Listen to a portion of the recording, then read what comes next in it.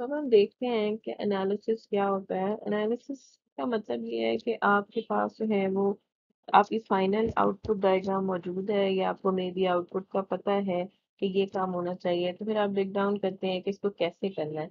तो यहाँ पे भी जैसे मेंशन है कि it starts with your logic diagram और फिर क्या करते हैं कि हम लॉजिक डायग्राम से बीच में कुछ ऐसा कोई प्रोसेस अप्लाई करते हैं, जिससे हमें क्या होता है कि हमारे फ़ंक्शंस पता चल जाते हैं कि ये जो आप की डायग्राम थी, वो किन किन फ़ंक्शन से किन किन फ़ंक्शन को एक्चुअली में रिप्रेजेंट कर रही है। और वेरिफिकेशन का मतलब ये है कि अगर आपको ये पता है कि फ़ंक्शन ने क्या करना है, जैसे मे बी आपको ये पता है कि ज़ीरो के बाद वन आना वन के बाद टू आना है काउंटिंग का सर्किट है तो फिर आपकी जो वेरिफिकेशन का प्रोसीजर वो ये होता है कि आपने जो भी अपने फ़ंक्शंस एंड पे डिवाइस कर लिए हुए हैं जो भी आपका जो लॉजिक डायग्राम में भी है वो एक्चुअली में उन रिक्वायरमेंट्स पे पूरा उतर है कि नहीं उतरी। तो वेरिफिकेशन जैसे है कि checking if the desired requirements are meeting और नॉट तो अब हम ये देखेंगे कि ये सारा प्रोसीजर हमने जो एनालिसिस है वो कैसे करना है। तो हमारे पास लॉजिक डायग्राम होगी और हमने उससे जो है वो फ़ंक्शन लिखना होगा। तो हमारे पास ये जो स्टेप्स लिखे हैं, ये मैं अगली स्लाइड्स में बारी बारी आपको एक्सप्लेन कर दूँगी। सो अब जो एनालिसिस हमने इसके स्टेप्स जो पीछे थे, वो मैं एक्सप्लेन कर दूँ आपने सबसे पहले ये करना कि आपने जो फ़र्स्ट स्टेज आपकी है गेट्स की, उसके जो आउटपुट्स हैं उनको लेबल कर लेना है। अब जैसे ये इनपुट जो टी टू है हमारे पास, ये क्या बन रहा है एक्चुअली में? ये ए बी सी बन रहा है। और जो हमारे पास टी वन है, ये हमारे पास बन रहा है also A plus B plus C तो हमने इनको आर्बिट्रेरी लेबल्स दे दिए हैं। और ये जो फ़र्स्ट स्टेज के लेबल्स आएँगे वो हैं जो कि इनपुट वेरिएबल्स पे कॉन्स्टिट्यूट करते हैं। अब इसकी अगर मैं बात करूँ, अगर मैं इसको भी लेबल दे दूँ T four T five T six तो मेरे पास टी फोर क्या आ जाएगा? ए बी और टी फाइव जो है वो आ जाएगा ए सी और टी सिक्स मेरे पास आ जाएगा बी एंड सी अब जब फ़र्स्ट स्टेप हमारा ये हो गया लेबलिंग कर ली, अब हमने ये करना है कि जो अगले बुलियन फ़ंक्शन लिखने हैं, वो इन वेरिएबल्स की फॉर्म में लिखने हैं। तो जैसे फॉर इंस्टेंस ये मेरे पास जो अब नेक्स्ट स्टेज आती है ये वाली, इस नेक्स्ट स्टेज के अंदर मेरे पास और के बाद जो आउटपुट है it is actually F two तो मैं इसको क्या करूँगी?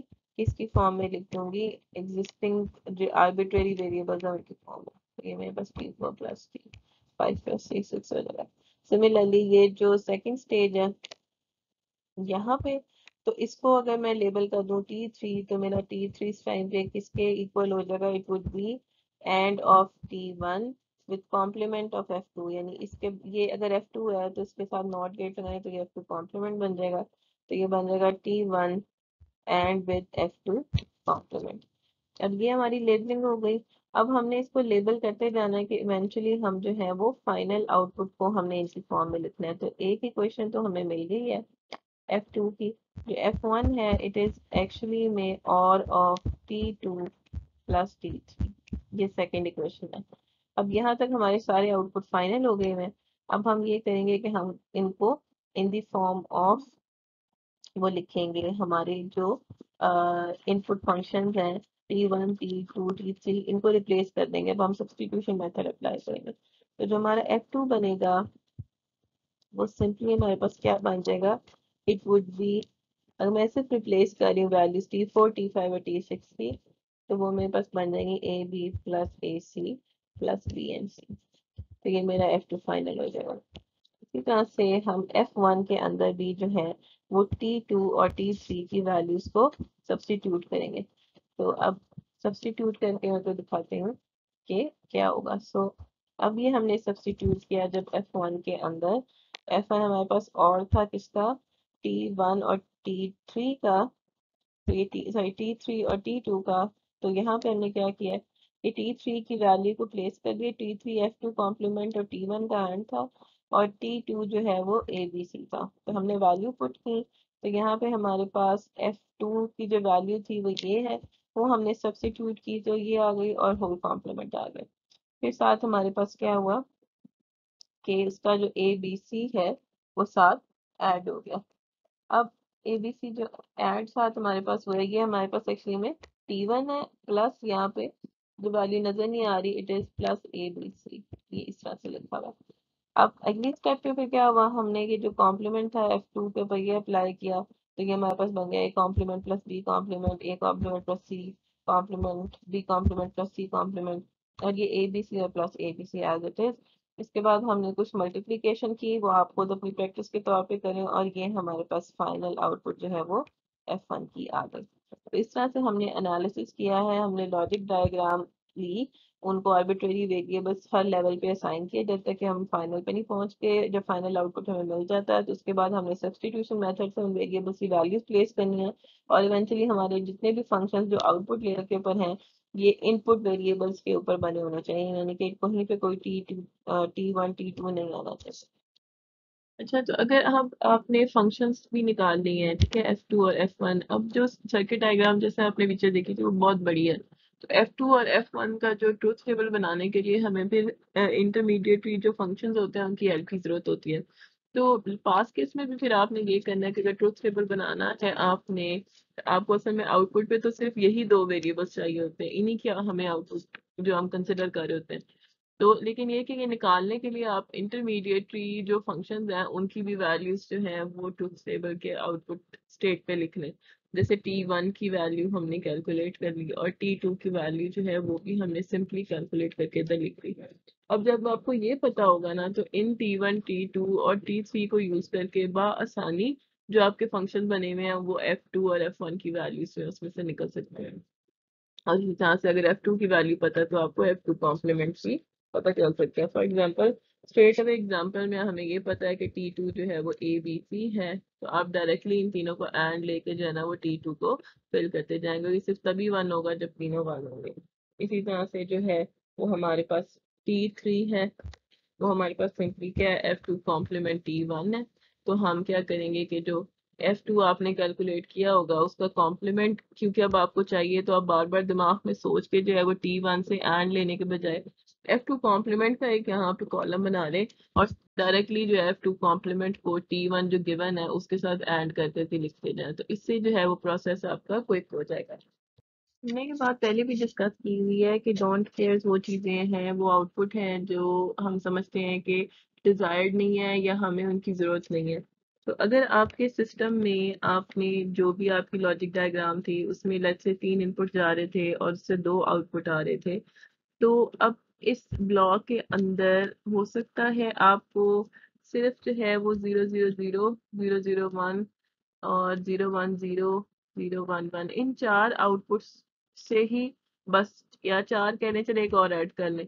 इन पाँच इनपुट से ही गलत है। इसके अलावा अगर इनपुट में कभी जो है वो गलती से वन ज़ीरो वन ही आ जाए, वन वन ज़ीरो भी आ जाए, वन वन आ जाए, ये तीनों इनपुट्स जब भी कभी इनपुट में आएँगी तो आउटपुट जो मर्ज़ी आए, हमें उसकी परवाह नहीं। तो ये हमारे डोंट केयर होगा।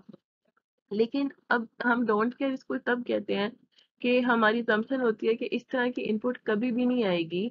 इसलिए जब कभी इनपुट नहीं आएगी तो इस तरह का कोई आउटपुट भी नहीं आ सकता। तो ये अजम्पशन करना एक तरह से ठीक नहीं है, क्योंकि अगर आपने ये जो ब्लॉग बनाया हुआ है, अगर कोई मसला आ जाता है, अगर आपका कोई सर्किट मेल फ़ंक्शन कर जाता है अगर कोई मतलब हीट की वजह से कोई शॉर्ट सर्किट या कोई मैग्नेटिक फ़ील्ड की वजह से ये इनपुट जो आप अप्लाई कर रहे हैं, ये सम हाउ जो है वो चेंज हो जाते हैं। तो अब यहाँ पे आपने अप्लाई किया वन ज़ीरो ज़ीरो लेकिन फॉर सम रीजन ये चेंज होके वन हो गया। तो अब क्या होगा? अब आउटपुट में जो आएगा, उससे आप क्या क्या एक्सपेक्ट करेंगे? तो अब इस तरह के जो मसलों के ऊपर जो है इनको हम डोंट केयर में ये कहते हैं कि ठीक है, आप इसको यहाँ पे x अज्यूम कर लें और जब हम के मैप सॉल्व करते हैं तो इस x में हम इसको ज़ीरो या वन समझ लेते हैं कि for the particular one zero one input जब आपका फ़ंक्शन मैक्सिमम सिंप्लीफाई हो जाता है तो उस केस में जो भी वैल्यू आएगी वही आपके आउटपुट के ऊपर होगी। ऑल दो इट वुड नॉट बी जो है वो करेक्ट वैल्यू क्योंकि वो इनपुट आप एक्सपेक्ट नहीं कर रहे थे, लेकिन ये कि जो आपको ये ऑब्वियसली पता चल जाएगा कि उस केस में आपके फ़ंक्शन की आउटपुट क्या आ रही है। तो अब हम ये देखेंगे कि जो आपके सर्किट्स हैं, उनको हम जो है वो नैन गेट्स में और नॉन गेट्स में कैसे कन्वर्ट कर सकते हैं। हमने कुछ इसका टर्म पहले भी कवर किया था, अब थोड़ा सा इसको और एक्सप्लोर करेंगे। अब इसमें हमारा वजह क्या है कि मैं नैन सर्किट्स या नॉर सर्किट्स के ऊपर, आपकी सर्किट डायग्राम को कन्वर्ट करवा रही हूँ। क्योंकि अमूमन जो यही होता है कि जो मैक्सिमम केसेस में हमारे पास हमारी सर्किटरी होती है, वो एंड और के बजाय नैंड और नॉर गेट के साथ मिलकर बनी होती है। उसकी वजह ये है कि वो रेडिली अवेलेबल होते हैं और जो है ना, इनकी मतलब मार्केट बहुत ज़्यादा है। तो एंड और को बजाय लोग नैंड और नॉर को प्रेफर कर रहे होते हैं। तो इसलिए फिर जो बेहतर ये होता है कि ठीक है, हमारे सर्किट्स अगर इस इम्प्लीमेंटेशन में बने हुए हैं नैंड में या नॉर में तो फिर वो जल्दी जो है वो अगर उसकी आईसी और अवेलेबल है सर्किट्स तो फिर वो हो सकती है। तो क्योंकि कॉमन भी है, इसलिए लोग प्रेफर करते हैं। तो अब जो है, हम ये बस देख लेते हैं कि हमारा अगर सर्किट में जो हमारे मेन ऑपरेशन है, वो कौन से होते हैं? हमारा मेन ऑपरेशन एक होता है नॉट का और एक हमारा एंड का होता है और एक हमारा जो है वो और का होता है। इन्हीं तीन ऑपरेशन से हमारे सारे फ़ंक्शन बन जाते हैं। तो अगर ये तीन ऑपरेशन हमारे नैंड गेट से पूरे हो जाए तो फिर क्या करेंगे हम के, हम इसका मतलब है कि अपना पूरा सर्किट जो है वो नैंड गेट को यूज़ करके बना सकते हैं। अगर मैं इसको इस डायग्राम को आप देखें तो ये जो सर्किट है, ये नॉट का सर्किट बना हुआ है। यानी कि आप अगर देखें इसमें सिंगल लाइन जा रही है तो इसका मतलब ये है कि दोनों जो है वो इसमें ए ही जा रहे हैं। और अब आप देखें अगर इसका मैं सर्किट बनाऊँ तो इसकी आउटपुट क्या होगी? अगर ए ज़ीरो होगा तो ज़ीरो ज़ीरो का एंड होगा ज़ीरो और कॉम्प्लीमेंट होके वो वन हो जाएगा। और अगर मैं जो हूँ वो ए की आउटपुट वन देती हूँ तो वन वन एंड वन हो जाएगा और नॉट आगे लगा हुआ है तो वो क्या हो जाएगा? वो ज़ीरो हो जाएगा। तो इसका मतलब है कि इसका जो बिहेवियर है वो एक कॉम्प्लीमेंट का बन रहा है इस सर्किट का। तो ये नैंड गेट से हम एक कॉम्प्लीमेंट बना सकते हैं। इसी तरह से नैंड गेट से एंड गेट बनाने का आपके पास क्या तरीका हो, होगा? तो ज़ाहिर है नैंड गेट अगर आपका है क्या? एंड के आगे नॉट लगा होता सॉर्ट ऑफ़ तो अगर यही जो सेम डायग्राम है, इसके ऊपर मैं अप्लाई करूँ कि ए और बी हमारे पास है तो आउटपुट हमारे पास, इसके इंटरमीडिएटरी आउटपुट को मैं टी वन कह देती हूँ और इसको मैं टी टू कह देती हूँ, या एफ़ एफ़ कह देती हूँ, क्योंकि ये फाइनल आउटपुट है। तो टी वन इधर मेंशन कर देते हैं और एफ़ इधर। तो हमारे पास टोटल पॉसिबल केसेस कितने हैं? Zero zero zero one one zero one one क्योंकि दो इनपुट्स हैं। तो ज़ीरो ज़ीरो के केस में जो टी वन है हमारा, वो क्या आता है कि ज़ीरो ज़ीरो एंड होता है कॉम्प्लीमेंट होके वन हो जाता है। ज़ीरो वन के केस में एंड हुआ ज़ीरो कॉम्प्लीमेंट होके वन फिर वन और ज़ीरो एंड हुआ ज़ीरो कॉम्प्लीमेंट होके वन यहाँ पे क्या हुआ वन वन एंड हुआ वन और कॉम्प्लीमेंट होके ज़ीरो। तो ये टी वन फिल हो गया। जो हमारा एफ़ एफ़ है, वो ये किसका, अब आप अगर इसको देखें तो अगर ऊपर वाला सर्किट मैं अप्लाई करूँ अगर मैं टी वन के सिंगल लाइन पास हो रही है तो ये टी वन कॉम्प्लीमेंट आउटपुट में हो जाएगा। तो अगर मैं इस टी वन कॉम्प्लीमेंट की आउटपुट ऐसे डायरेक्टली लिख दूँ तो अब देखें कि ये सेम वही आउटपुट बन रही है, जो कि एंड गेट की आउटपुट बन रही है। अगर आपको ये बात मेरी समझ नहीं आई तो आप वो, उसको पूरा अप्लाई करके भी कर सकते हैं। तो ये एंड गेट बन गया। इसी तरह से अगर हम बात करें और गेट की तो फिर और गेट के केस में हमारे पास जो है वो ये सर्किट है। कि अगर हम और सिंपल और गेट को, यानी इस वाली चीज़ को, अगर इस ब्लॉक को इस पूरे से रिप्लेस कर दें तो वो और के इक्वलेंट होगा। तो अगर ए बी इसको ट्राई करके देख लेते हैं, अगर मैं इसको इस साइड की साइड को देखूँ तो ये ए कॉम्प्लीमेंट यहाँ तक आएगा, इसको देखूँ तो ये बी कॉम्प्लीमेंट आएगा। अब बी कॉम्प्लीमेंट और ए कॉम्प्लीमेंट का जब एंड वो ये इतना पोर्शन अब हमने निकालना है। तो ए कॉम्प्लीमेंट और बी कॉम्प्लीमेंट का ऐड करें तो वन वन का अगर फ़र्स्ट केस में देखूँ तो ज़ीरो ज़ीरो का कॉम्प्लीमेंट वन वन हो गया। तो वन वन का हमने एंड लिया तो वन है, और उसका नॉट लिया आगे तो वो जो है वो ज़ीरो हो गया। तो इसकी आउटपुट ज़ीरो हो जाएगी।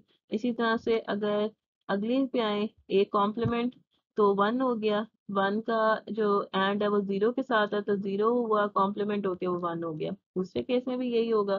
तीसरे केस में जो वन वन के केस में दोनों ज़ीरो हो जाएँगे एंड ज़ीरो होगा कॉम्प्लीमेंट होके वन हो जाएगा। तो एक्चुअली में अब आप इसको देखें तो ये आउटपुट किसकी बन रही है? ये आउटपुट बिहेवियर हमारा और गेट के बिहेवियर से मैच कर रहा है। तो इसका मतलब ये है कि हम इसको इससे रिप्लेस कर सकते हैं। अब एक एग्जांपल देख लेते हैं। अब यहाँ पे जो गिवन डायग्राम है हमारे पास, वो इस इस फ़ंक्शन की है। इस फ़ंक्शन को अगर आप ऑब्ज़र्व करें तो ये फ़ंक्शन जो है वो पाँच गेट्स को यूज़ करके बना हुआ है और उस पाँच गेट्स के अंदर हमारे पास दो एंड गेट्स हैं और दो और गेट्स हैं और ये इसकी इक्वेशन बन रही है। अब हम क्या करेंगे? इसके जो एंड और नॉर गेट्स को जो है वो नैंड गेट से रिप्लेस करेंगे।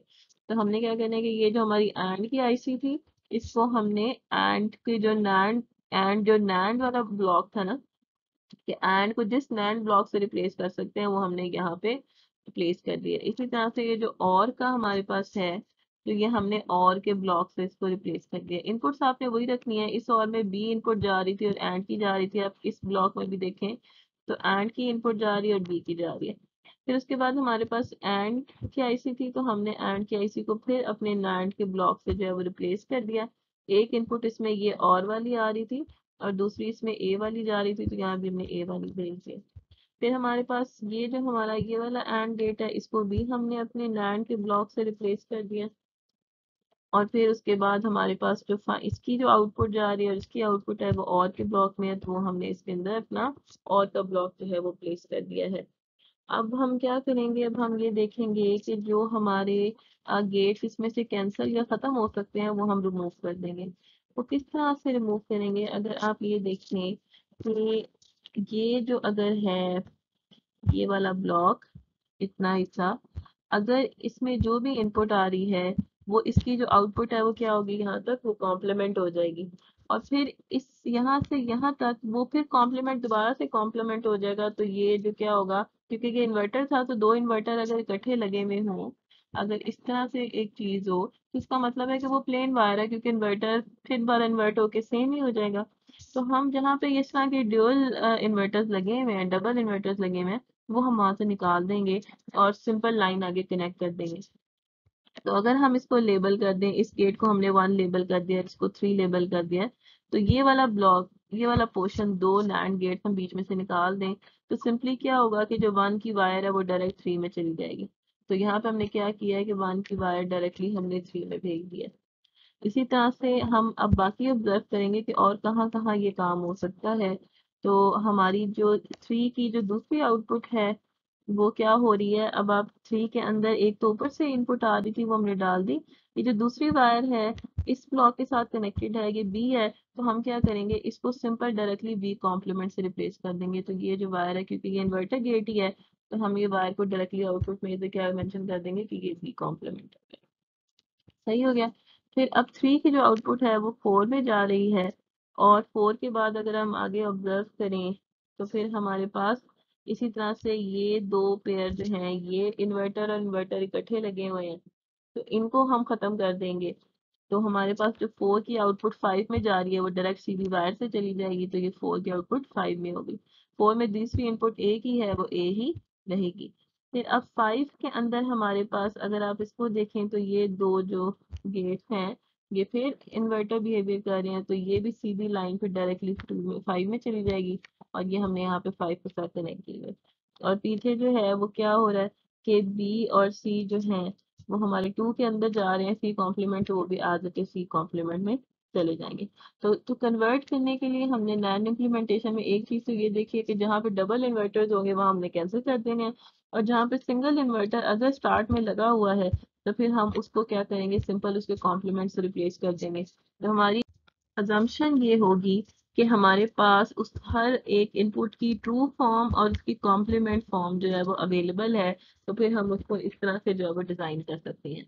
सो हम जो है अब वो यही करेंगे कि इस डायग्राम से अपना जो बुलियन फ़ंक्शन निकालते हैं देखते हैं कि जो हमने पहले वाला लिखा था उसके बराबर आता है कि नहीं।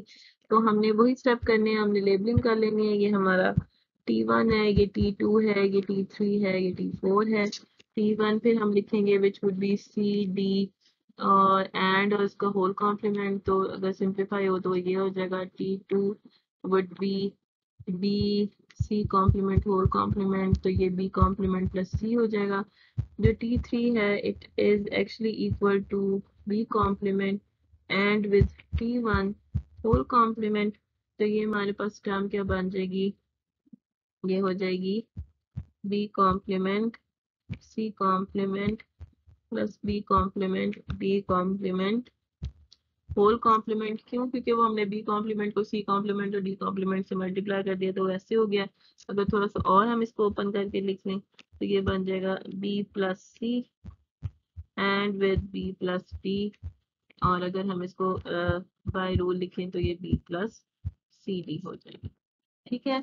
तो अब टी थ्री भी हमारे पास आ गया, फिर इसी तरह से हम टी फोर को एक्सट्रैक्ट करेंगे। टी फोर हमारे पास ए टी क्यूब कॉम्प्लीमेंट है तो वो हमारे पास आ जाएगा A B plus C D replace जब हम वैल्यूज़ करेंगे और होल कॉम्प्लीमेंट फिर इसको बाद में ओपन करके देख लेंगे। अब एफ़ को हम ट्राई कर लेते हैं। एफ़ टू हमारा T two T four complement हो जाएगा। तो फिर असल में वो जब डबल कॉम्प्लीमेंट होगा तो वो कैंसिल करने के लिए, आसानी के लिए हम ऐसे कर रहे थे। तो हमारे पास ये आ जाएगा बी सी कॉम्प्लीमेंट और फिर ये आ जाएगा A B plus C D complement और इस जो है हमारे पास पूरे के ऊपर कॉम्प्लीमेंट आ गया। तो एक्चुअली में जब आप इसको ओपन करेंगे तो ये बनेगा B C complement plus A B plus C ये वही सेम एक्सप्रेशन है हमने पहले देखा था। आप इसका ट्रुथ टेबल बना के उसी पैटर्न पे वेरीफाई भी कर सकते हैं। जैसे हमने T one two three four के कॉलम बनाए और फिर फाइनली से एफ़ ड्राइव करके, फिर एफ़ का आप ट्रुथ टेबल बनाए। और ट्रुथ टेबल से अगर आप इस फ़ंक्शन को सिंप्लीफाई भी करके देखें तो आपके पास सेम फ़ंक्शन जो है, जो कि हम पहले दो तरीकों से निकाल चुके हैं, वही आएगा। हमारे पास अगर एंड हमने नैंड से जो है वो अपना सर्किट बना लिया है तो अब ये प्रॉब्लम भी आ सकती है कि हम इस नैंड डायग्राम को एंड और में कन्वर्ट करें। ये हमने पहले भी देखा था। तो इसमें क्विक रिविजन ये है कि आपको अगर याद हो तो हमारे पास अगर कोई एंड का नैंड का सर्किट है, जो ए बी सी के ऊपर कॉन्स्टिट्यूट करता है तो उसकी आउटपुट हमें पता है कि ए बी सी कॉम्प्लीमेंट आती है। और इसकी जो आउटपुट है, वो इक्वलेंट है। अगर हम एक और गेट लगाएँ और उसके पीछे तीन वो नॉट लगा दें और ए बी सी इसमें पास करें तो फिर ये जो आउटपुट इससे आएगी it would be also equal to A B C whole complement तो अब हम ये करेंगे कि हम अपनी जो नैंड लॉजिक है, इसको एंड और लॉजिक में कन्वर्ट करेंगे, उसी प्रोसीजर से जैसे हमने पास लेक्चर्स में किया था। ओके तो जो हमारे पास हमारी नैंड लॉजिक डायग्राम थी, जो ये थी, इसको अब हमने कन्वर्ट करना है वापस। एंड और फॉर्म में एंड और फॉर्म में कन्वर्ट करने के लिए हम ये करेंगे जो पीछे हमने इन्वर्ट और गेट अपना देखा है, हम आखिरी लेवल से शुरू करेंगे, आखिरी गेट को रिप्लेस करेंगे इन्वर्ट और से, और फिर जो है ऑल्टरनेट लेवल्स में ये छोड़ के एक के अंदर जो है ना वो हम इन्वर्ट और लगाएँगे। जैसे इस डायग्राम में हमने इस नैंड गेट को रिप्लेस कर दिया अपने इन्वर्ट और गेट से, और फिर सेकंड ऑल्टरनेट लेवल में यानी इस गेट को नहीं, इससे अगला जो ये वाला गेट है इसको हमने रिप्लेस किया अपने इन्वर्ट और से। तो फिर हम ये करेंगे जो अगली चीज़ के, अगर डबल कॉम्प्लीमेंट कहीं पे आ रहा है, उसको रिमूव कर देंगे तो यहाँ पे ये ये आ रहा है, ये रिमूव हो जाएँगे, ये एम्प्टी रह जाएगा। इसी तरह से इधर ये और ये आ रहा है, ये चेंज हो जाएगा, इधर ये और ये आ रहा है, ये चेंज हो जाएगा। तो इन्वर्ट आपके जो डबल इन्वर्ट है इन्वर्टर वो खत्म हो जाएँगे। इसके अलावा एक बात आपने याद रखनी है कि अगर सिंगल इनपुट एंड गेट और सिंगल इनपुट और गेट है, यानी कुछ इस तरह से अगर ये है तो वो भी हम सर्किट में से रिमूव कर देंगे। लेकिन उसको रिमूव नहीं करेंगे जिसके इनपुट में एक नॉट बच रहा हो या आउटपुट में एक नॉट आ रहा हो। उस इनपुट उस वन इनपुट एंड और और गेट जिसके साथ इन्वर्टर लगा हो, उसको हम चेंज करके इन्वर्टर गेट में तब्दील कर देंगे। तो हमारा जो फाइनल सर्किट है, जो एंड और लॉजिक से ये सारा कुछ अप्लाई करके वो ये बन जाता है। तो नॉट इम्प्लीमेंटेशन भी मैं आपको मजीद नहीं बताऊँगी, सिर्फ़ ये आपको बता दें कि नैंड और नॉट क्योंकि यूनिवर्सल गेट्स हैं तो इसी तरह से अगर आपका कोई और सर्किट भी होगा तो हम उसको और नॉर इम्प्लीमेंटेशन के साथ भी जो है वो कर सकते हैं। तो हमने वही प्रोसेस सेम जो नैंड के साथ शुरू हुए थे कि नॉट गेट हमारा इसके साथ रिप्रेजेंट हो सकता है और गेट हमारा इस स्ट्रक्चर के साथ नॉर को लेके रिप्रेजेंट हो सकता है एंड गेट जो है वो हमारा इस स्ट्रक्चर के साथ जो है ना वो इम्प्लीमेंट हो सकता है। तो इसी तरह से आपके पास जो भी आपकी लॉजिक डायग्राम आएगी, उसमें आप अपने एंड और नॉट गेट को इन ब्लॉक से चेंज करेंगे और चेंज करके जो आपके कॉम्प्लीमेंट है, वो कैंसिल वगैरह करके फाइनल जो आपकी डायग्राम होगी, वो नॉर इम्प्लीमेंटेशन में होगी। तो आप इसको देखने के लिए बुक को रेफर कर सकती हैं। अगर कोई मसला आता है तो वो हम डिस्कस कर सकते हैं। इसी तरह से जो फाइनल उसका रिवर्स होगा कि अगर आपके पास जो है, वो नॉन इम्प्लीमेंटेशन है तो उससे आपने जो है वो वापस एंड और इम्प्लीमेंटेशन में किस तरह से जाना है तो उसके लिए भी फिर आप वही सेम प्रोसेस अप्लाई करेंगे। आप आखिरी गेट से शुरू होंगे, जैसे हमने पीछे किया लास्ट लेवल को नॉर में चेंज करेंगे और फिर नॉर को चेंज करेंगे और उसके बाद फिर आप अल्टरनेट लेवल्स में अप्लाई करते जाएँगे।